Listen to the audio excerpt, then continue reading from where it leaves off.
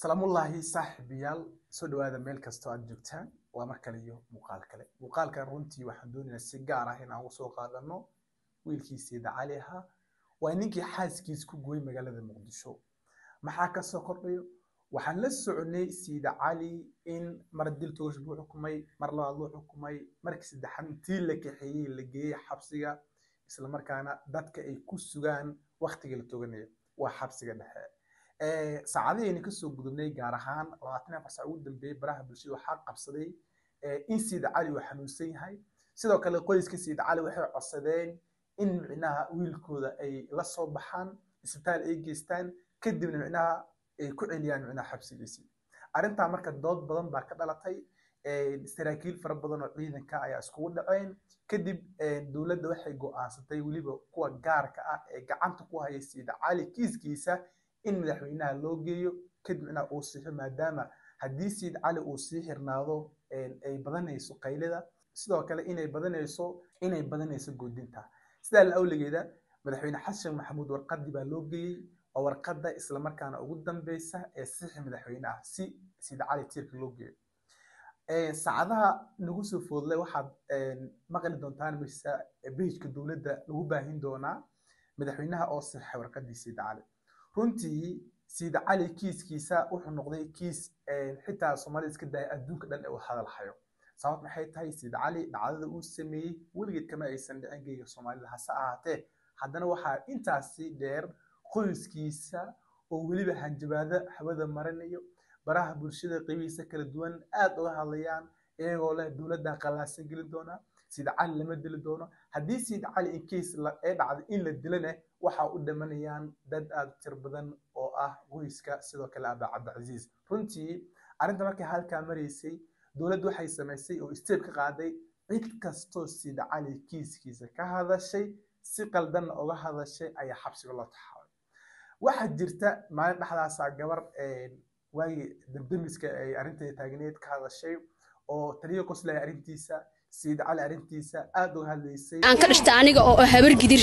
Garata qaas ahaan sacad oo aan leeyahay jiidaha dagaalka ka soo baxa ka soo baxa baaq dheer iyo baaq dheerba waa u diraya waxaa leeyahay sacad suugtooda iyo cabdibiliyaashood aa uga soo baxa meesha siciid dhowoola uu ku dhintay. Baa anaga dhan ku baabayna haddii. Maanta waxaa la xabsiga. Sidoo kale dowladdu waxay doonaysaa inay xirto suldaan hole. Suldaan holey runtii waxa waa nin inta badan aa garanaysaan kuwiina baraha bulshada ee soomaalida weliba facebook iyo youtube-ka aad u daawado.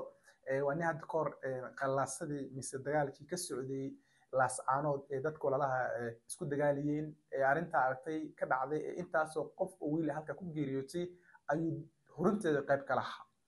Maanta marka kiis kale ayuu damacsan oo ah in kiiskani uu noqdo mid qabiili ah in micnaha dowladda soomaaliya ee food saarta burbur ayuu diyaar u yahay. Runtii da'diisa markii la firin waa qof weyn ninka marka dowladda waxay doonaysaa inay xirto oo kula joogtaan laamaha amniga ayaa baaritaan wadaan.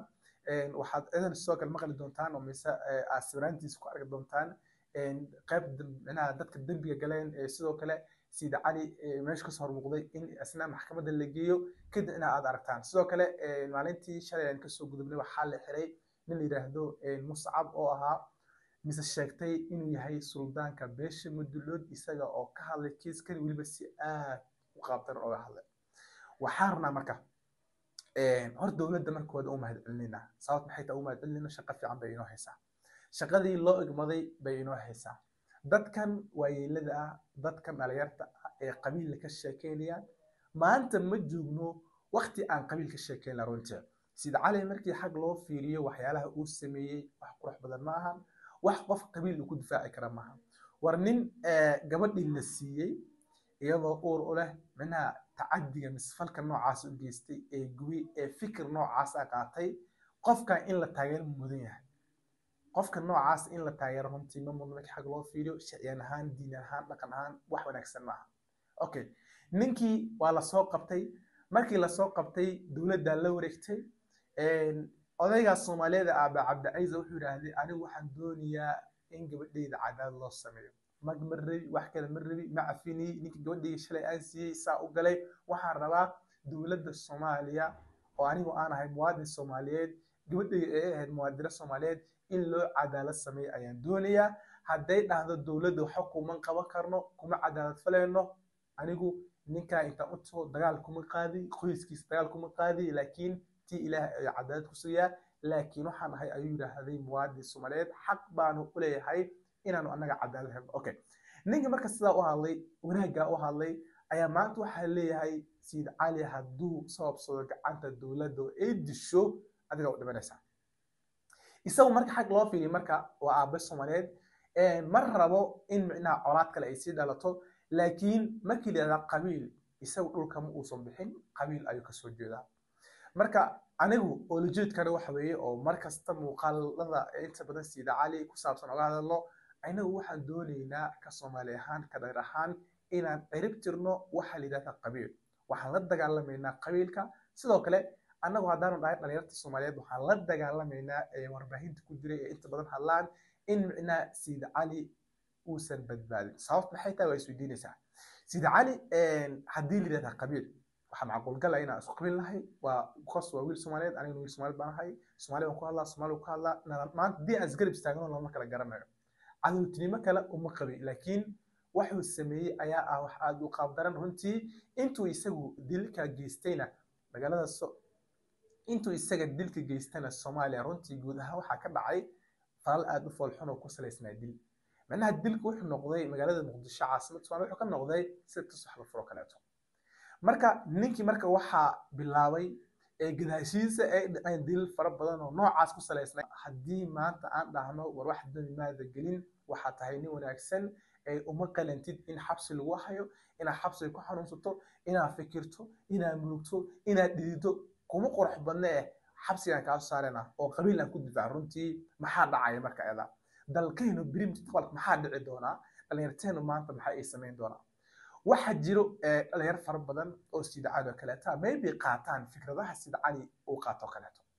Haddii marka sida cali maanta tiirka la geen waayo cadaalad la marsiin waayo gabadha marxumadda allah u naxariistay dhimatay cadaalad mari wayso maxaa dhacayo dadku maxay samaynayaan soo soomaaliya maalin kasta la iskuma diliyo soo waxaan dilmadan maalin kasta joogto ma noqonayso. Si aysan marka u noqonin ayaan rabnaa in ninka asaga halka saxda la aadiyo way qurux badan tahay sidoo kale madaxweynaha isaga wuxuu codsaday in warqadan uu sixo oo ninkan siida cali ah ee laysku haysto in laysdhaafiyo siida cali runtii qadiyadiisa mise meeshay maanta dadka qaar ka taagan runtii waa meel waxa oo aad u xun.